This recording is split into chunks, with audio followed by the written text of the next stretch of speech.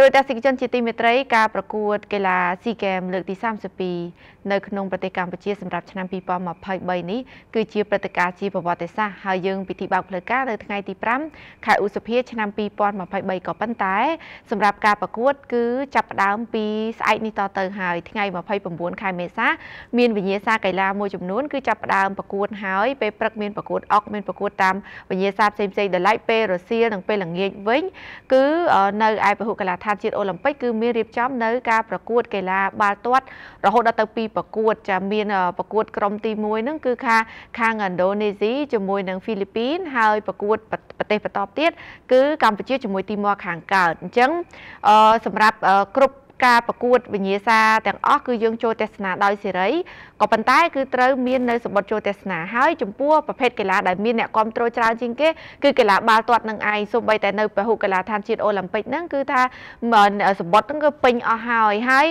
ល្ងាចនេះគឺចាប់ផ្ដើមប្រកួតសំទោសល្ងាចថ្ងៃស្អែកគឺចាប់ផ្ដើមប្រកួតហើយហើយយើងចង់ដឹងអំពីការរៀបចំនៅទីនោះបែបណាដែរយើងមានសេចក្តីរាយការណ៍ផ្ទាល់របស់លោកទូចសុភ័ណ្ឌក្រុមការងារ BTV កំពុងតែស្ថិតនៅពហុកីឡាដ្ឋានជាតិអូឡ িম্প ិកចាលោក សុភ័ណ្ឌជាឃើញថាភាពជាម្ចាស់ផ្ទះរបស់កម្ពុជានៅក្នុងឆ្នាំ2023សម្រាប់ SEA Games និង ASEAN Para Games នេះយើងរៀបចំទីតាំងច្រើនកន្លែងណាច្រើនទីលានសម្រាប់វិញ្ញាសាប្រកួតនីមួយៗដែលឡែកពហុកីឡាដ្ឋានជាតិអូឡ িম্প ិកនេះគឺមានការប្រកួតកីឡាបាល់ទាត់នៅទីនោះនៅថ្ងៃស្អែកការរៀបចំបែបណាដែរសុភ័ណ្ឌជាការកត់សម្គាល់របស់លោកនៅពេលដែលទៅដល់ទីនោះទាំងផ្លូវចូលទាំងការរៀបចំការតុបតែងរួមជាមួយការត្រៀមសម្រាប់ទទួលអ្នកក្រុមត្រុតដ៏ច្រើនទស្សនានៅកីឡាបាល់ទាត់សម្រាប់ល្ងាចថ្ងៃស្អែក បាទកញ្ញារក្សាសម្រាប់ទីតាំងនៅពហុកីឡដ្ឋានជាតិអូឡ িম্প ិកនៅពេលនេះគឺបានត្រៀមខ្លួនរួចរាល់ហើយសម្រាប់ការរៀបចំព្រឹត្តិការណ៍ស៊ីហ្គេមដែលកម្ពុជារៀបចំធ្វើជាម្ចាស់ផ្ទះលើកទី32ឆ្នាំ2023ដោយឡែកសម្រាប់ការប្រកួត នៅទីតាំងនេះនៅថ្ងៃស្អែកគឺការប្រកួតបាល់ទាត់បុរសអ៊ុយ22ហើយការប្រកួតបាល់ទាត់នៅថ្ងៃស្អែកនេះគឺមាន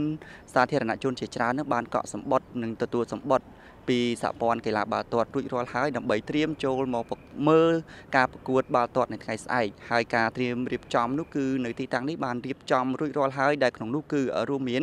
ទាំងសម្ភារៈបរិខាផ្សេងផ្សេងមានជាកៅអីសម្រាប់ឲ្យទស្សនិកជនចូលទស្សនានៅក្នុងពហុកីឡដ្ឋានអូឡ িম্প ិកនេះក៏ត្រៀមរួចរាល់ដែរដែល កៅកៅអីសម្រាប់ឲ្យទស្សនិកជនចូលទស្សនានៅ 0B ហ្នឹងគឺមានចំនួនជាង25000កៅអីហើយដោយឡែកសម្រាប់ឯ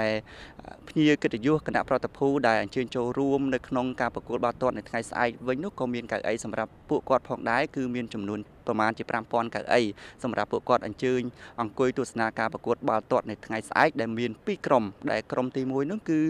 ប្រទេសឥណ្ឌូនេស៊ីប៉ះជាមួយនឹងប្រទេសហ្វីលីពីននៅវេលាម៉ោង4ហើយនឹងក្រុមទី2នោះគឺប្រទេសកម្ពុជាជាម្ចាស់ផ្ទះនឹងបានប៉ះជាមួយនឹងប្រទេសទីម៉័រនៅវេលាម៉ោង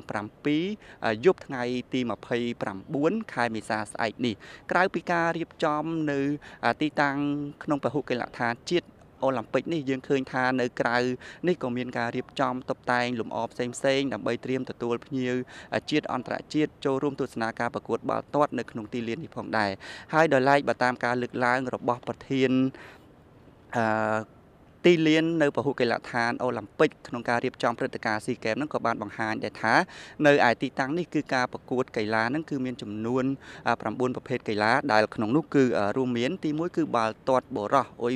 22ហើយទី2នោះគឺបាល់ទះទី3នោះគឺកាយសំកាយសម្ព័ន្ធទី4គឺបេតង់ទី5កីឡាបាល់ គប់ក្នុងទឹកទី6កីឡារាំទី7លើកទម្ងន់ទី8កីឡាសូហ្វីតេនីសនិងទី9គឺកីឡាសីដក់ នេះគឺជាប្រភេទកីឡាដែលត្រូវប្រកួតនៅក្នុងពហុកីឡដ្ឋានជាតិអូឡ িম্প ិកក្នុងព្រឹត្តិការណ៍ស៊ីហ្គេមលើកទី32ដែលកម្ពុជារៀបចំធ្វើជាម្ចាស់ផ្ទះការរៀបចំធ្វើជាម្ចាស់ផ្ទះលើកនេះគឺក្នុងរយៈពេលប្រមាណជាង60ឆ្នាំហើយដែលកម្ពុជាទើបតែរៀបចំជាលើកដំបូងហើយការរៀបចំនេះបានទៀតសោតគឺដោយសារតែប្រទេសកម្ពុជា មានសុខសន្តិភាព មានលទ្ធភាពនិងសមត្ថភាពគ្រប់គ្រាន់ក្រោមការដឹកនាំដោយគតិបណ្ឌិតរបស់សម្ដេចអគ្គមហាសេនាបតីតេជោហ៊ុនសែននាយករដ្ឋមន្ត្រីនៃព្រះរាជាណាចក្រកម្ពុជានិងថ្នាក់ដឹកនាំផ្សេងៗជាច្រើនរូបទៀតចាសុភ័ណ្ឌអញ្ចឹងទេយើងឃើញថាសម្រាប់ពហុកីឡដ្ឋានជាតិអូឡ িম্প ិកជាទីកន្លែង ដែលសម្រាប់ប្រកួតទៅលើវិញ្ញាសាកីឡាផ្សេងផ្សេងជាច្រើនរួមជាមួយថ្ងៃស្អែកគឺអាចអ្នកទស្សនាច្រើនជាងគេនោះគឺកីឡាបាល់ទាត់នេះឯងដែលសបុតពេញអស់ហើយជាការកត់សម្គាល់ការ រៀបចំតុបតែងយ៉ាងម៉េចដែរប្លែកភ្នែកឲ្យស្អាតខុសពីរាល់ដងយ៉ាងម៉េចព្រោះសុភ័ណ្ឌបានឃើញដោយផ្ទាល់នាងខ្ញុំក៏បានទស្សនាមិញតាមរយៈរូបភាពមានការជូតការសម្អាតការតុបតែងដូចជាមានលក្ខណៈមួយពិសេសមែនតើលើសពីការប្រកួតផ្សេងៗកន្លងមកដែលយើងធ្លាប់បានរៀបចំចា៎បាទកញ្ញារក្សានៅទីតាំងនេះគឺពិតជាខុសប្លែក ជាងរាល់ដងហើយដោយសារតែប្រទេសកម្ពុជា គឺជាម្ចាស់ផ្ទះរៀបចំព្រឹត្តិការណ៍ស៊ីហ្គេមអញ្ចឹងហើយនៅក្នុងទីតាំងនៅពហុកីឡដ្ឋានជាតិអូឡ িম্প ិកនេះគឺមានការតុបតែងយ៉ាងស្រស់ស្អាតការតុបតែងនេះគឺមានច្រើនដោយដែលខ្ញុំបានរៀបរាប់ត្រួសត្រាសមួយចំនួននៅខាងដើមហើយប៉ុន្តែខ្ញុំចង់បញ្ជាក់ម្ដងទៀតនៅឯទីតាំងនេះគឺមានការតុបតែងដូចជាការចងទង់ជាតិប្រទេសទាំង11ដែលចូលរួមព្រឹត្តិការណ៍ ស៊ីហ្គេមលើកទី32នេះហើយក៏មានការតបតែងស្មៅនៅក្នុងទីលាននេះក៏យ៉ាងខៀវសង្ងាត់ដែរហើយក្រៅពីនេះក៏មានការគូសគំនូនៅលើទីលានស្មៅដែលត្រូវប្រកួតនេះដើម្បីបង្ហាញអំពីសោភ័ណភាពនៅក្នុងទីលានប្រកួតហើយក្រៅពីនេះក៏មានការតបតែងដូចជាភ្លើង LED អីផ្សេងផ្សេងដើម្បីត្រៀមក្នុងកម្មវិធីប្រកួតបាល់ទាត់នៅថ្ងៃស្អែកហើយភ្លើងហ្នឹងក៏មានការត្រៀមពីក្រុមការងារជំនាញក្រៅពីក្រុមការងារជំនាញហ្នឹងក៏មានអ្នកពាក់ព័ន្ធផ្សេងផ្សេងអន្តរគណៈកម្មការផ្សេងផ្សេងហ្នឹងក៏បានចូលរួមនៅក្នុងទីតាំងនេះហើយក្នុងនោះក៏មានការរៀបចំសន្តិសុខសម្ដាប់ធ្នាប់ក្រុមគ្រូពេទ្យនិងអ្នកពាក់ព័ន្ធផ្សេងផ្សេងមួយចំនួនទៀតដូចជាទីតាំងសម្អាតអនាម័យនៅក្នុងទីលានហ្នឹងក៏បានត្រៀមរួចរាល់ដែរនិយាយជារួមគឺការត្រៀមលក្ខណៈនេះគឺដើម្បីបង្ហាញទៅដល់ប្រជាជាតិនិងអន្តរជាតិថាកម្ពុជា គឺជាប្រទេសដែលធ្វើជាម្ចាស់ផ្ទះ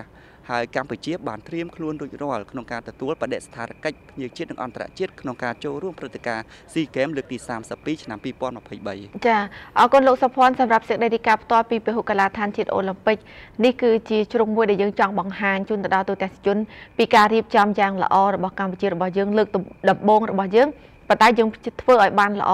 ចាំទទួលស្វាគមន៍ទាំងអត្តពលិកទាំងប្រតិភូទាំងភ្ញៀវអ្នកគ្រប់គ្រងកីឡាទាំងជាតិអន្តរជាតិនៅក្នុង SEA Games ឆ្នាំ2023នេះអរគុណជម្រាបលាលោកសុភ័ណ្ឌមានអ្វីថ្មីយើងទំនាក់ទំនងទៅលោកបន្ថែមទៀតចា៎